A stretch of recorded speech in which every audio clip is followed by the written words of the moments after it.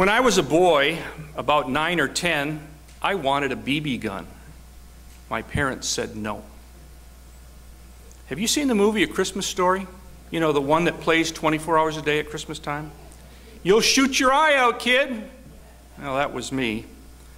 All except for the boy in the movie actually did get a BB gun. I got a bow and arrow instead, and that's a whole nother story. I want to tell you a little bit where I was where I was born. I lived in rural Michigan, farmland. The blocks were one mile square. The closest house was a half a mile away. Fields as far as you can see. Have you ever looked out an airplane and seen the checkerboards below? That's where I lived. Now, my friend Chuck, who lived a mile from me, he had a BB gun. So this one day I rode my bike to his house and we were outside playing with his BB gun. His parents were not at home. There was this farmer's shed that was on the corner by Chuck's house, and somehow we decided to shoot at one of the windows. It made a small hole, and then another one, and another one. But the glass wouldn't break. So one of us picked up a rock and threw it at the window, and it broke. Crash! That was exciting. Now, this shed had a lot of windows, you know, little square ones all through the panes. We continued to pick up rocks, and we broke every window in that shed. Then we see this man come running after us across the field, and, we, and he was screaming at us, so we ran. We ran to Chuck's house and we hid in his basement until he quit pounding on the door. Then I got on my bike and I rode home. You know, the next day, this shiny blue state police car pulled into our driveway. The policeman got out of the car and he asked to speak to my parents. My mother was home. Have you ever heard the say, saying, wait until your father gets home?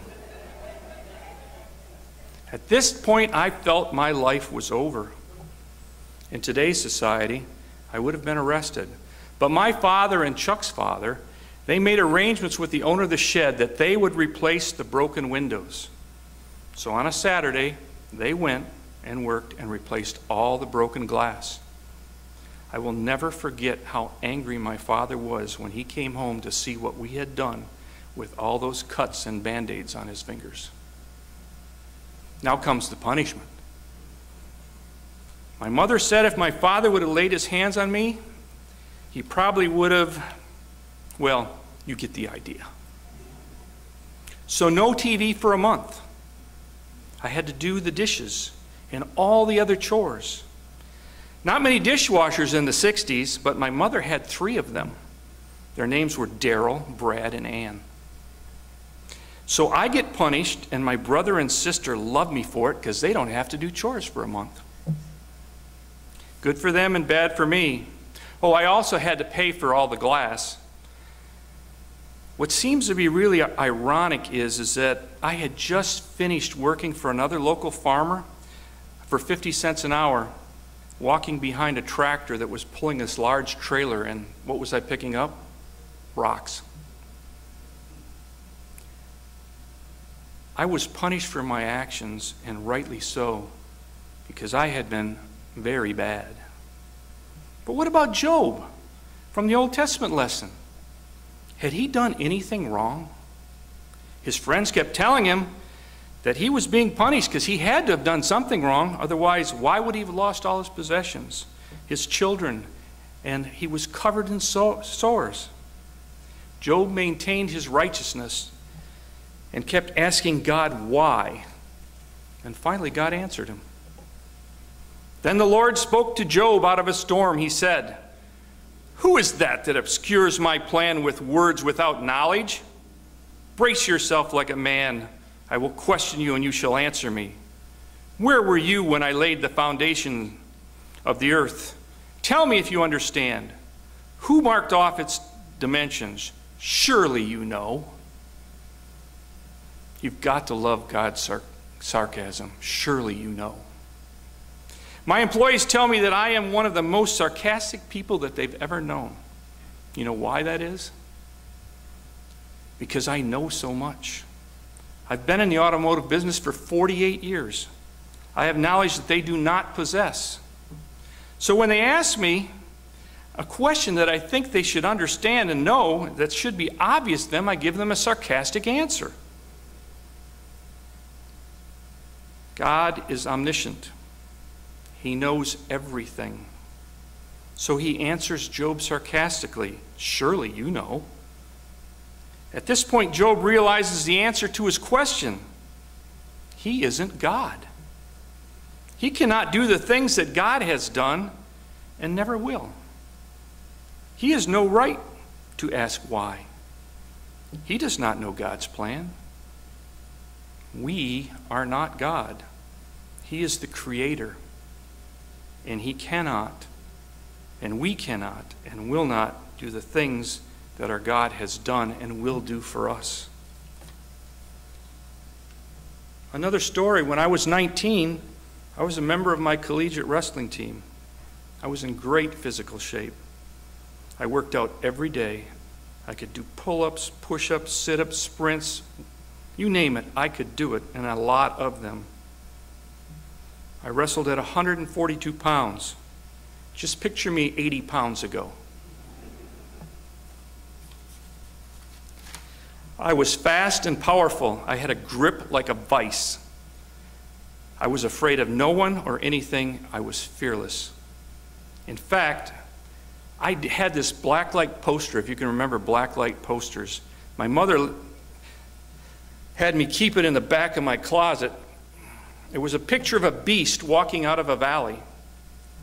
And the caption said, Yea, though I walk through the valley of shadow of death, I shall fear no evil, because I am the meanest son of a gun in the valley.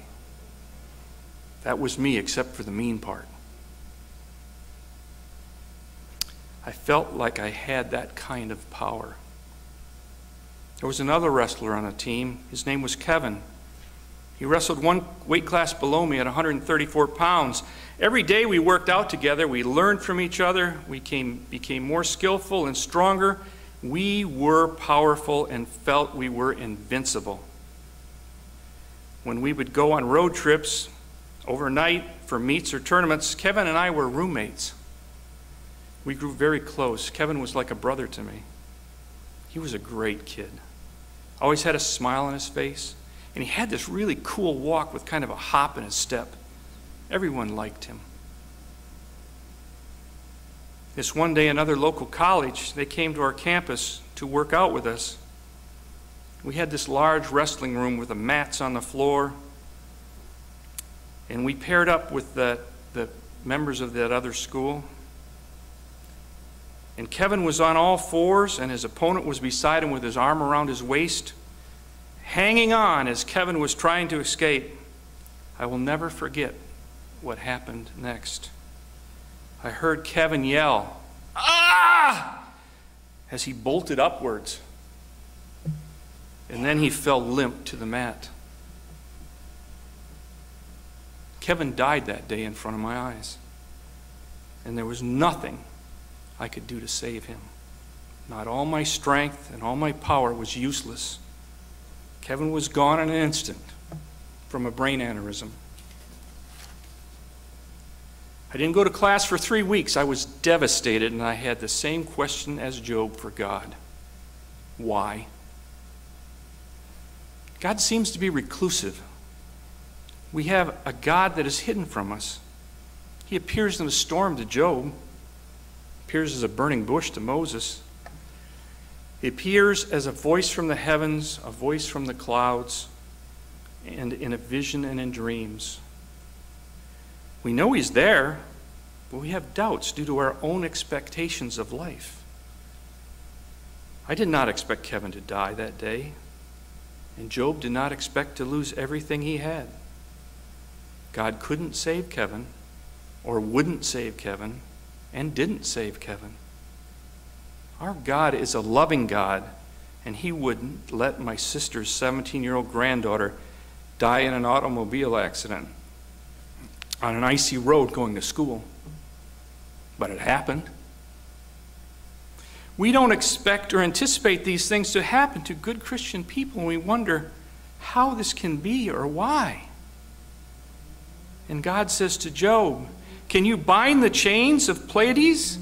Can you loosen Orion's belt? Can you raise your voice to the clouds and cover yourself with a flood of water? Do you send the lightning bolts on their way? Do they report to you? Here we are. More sarcasm. Here we are. I have not, cannot, and will not be able to raise the dead. The answer is the same. We are not God. God is omnipotent, He is almighty. Only He has the power. Only He knows what will happen in our lives and why. We have not done anything in our lives that classifies us with the same power of God. His power is awesome. I did not want to be feared, I wanted to be loved, but I enjoyed being able to be a protector. We should fear God because of His power is so incomprehensible. But the good news is He has our back. Our power is, His power is on our side. We have a Father in heaven that loves us. Love Him back. He protects us from the power of the evil one. When Jesus died on the cross, it seems like God was hidden from us. He wasn't going to, couldn't, wouldn't, and didn't save Jesus from death on the cross. And why didn't Jesus save himself? He had the power. He demonstrated that power in all his miracles. According to the Gospel of Matthew, he got up, rebuked the winds and the waves, and it was completely calm. Jesus as God couldn't, wouldn't, and didn't save himself. Wasn't he God? Yes, he was God. And he had the knowledge to know what his Father's plan was. In order to fill that plan, he had to die. When Jesus rises, our God, who was hidden in the obscurity of the tomb, is revealed to us through Christ's resurrection. God promises us the Messiah he sent his Son to us to die on the cross and atone for our sins. The resurrection is the ultimate victory over death. The God that hadn't had, the God that didn't, did. God spoke to Job with questions that remind him that he is not God. Do you know when the mountain goats give birth? Do you watch when the does bear their fawn? Do you give the horse its strength or close its neck? With a flowing mane. God also speaks to us in the Bible and asks us those same questions that remind us that we are not God either.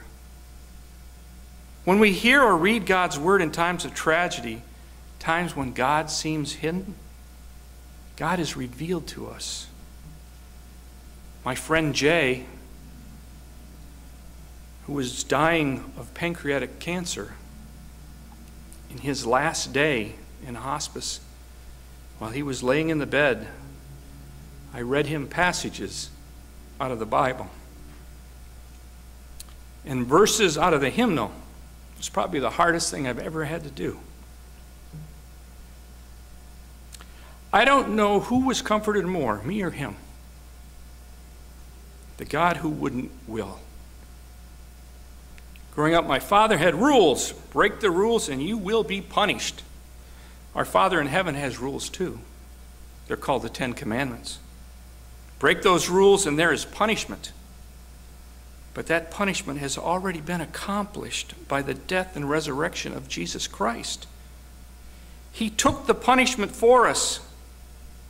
We ask God for forgiveness, and our sins are forgiven for Jesus' sake. God's grace is given to us freely. We do, need, we do not need to ask God why. We just need to believe that God has a plan for all of us. God is omnipresent.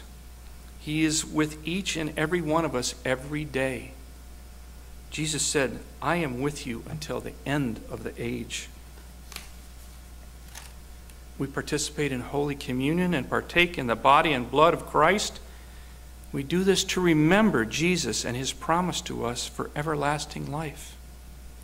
And when we leave this world, the God that is, the Creator, will lift us up to be with him. All praise and glory be to God our Father. Amen.